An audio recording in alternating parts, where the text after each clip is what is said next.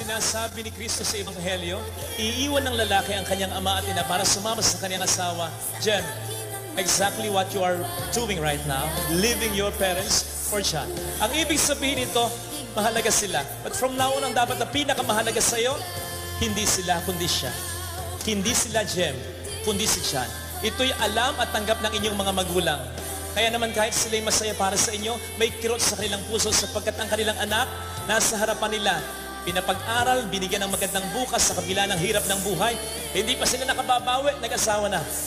May sarili lang prioridad ngayon. Pero ito'y tanggap nila. Kaya huwag niyong kakalimutan ito. Ito'y isa lamang sa maraming pagbibigay ng inyong mga magulang. Kaya kayo, ngayon ay kayo. Kaya may kasal ngayon.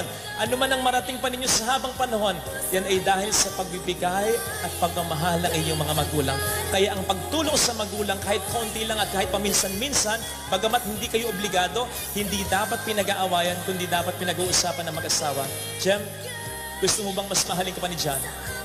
Mahalin mo ang nanay at tatay niya. Mas mamahalin ka ni Shen pag minahal mo ang nanay at tatay niya. So bago kayo bumuo ng isang bagong pamilya na pinakamahalaga, pasalamatan niyo muna sila.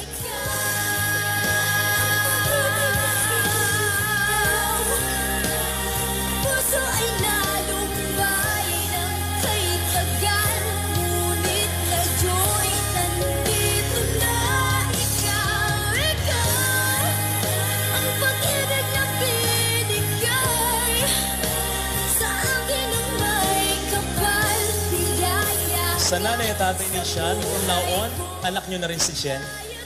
Mula po ngayon, anak niyo na rin si Sean. So kung sila'y mag-aaway na kasama sa buhay pag-aasawa, wala kayong kakampihan sapagkat anak niyo silang dalawa. Mas magiging magaan ang buhay nila pag nagkaganon at pag nagkasundo ang magbalay. Magkamay po kayo. Palakpakan po natin sila. Pag-ibig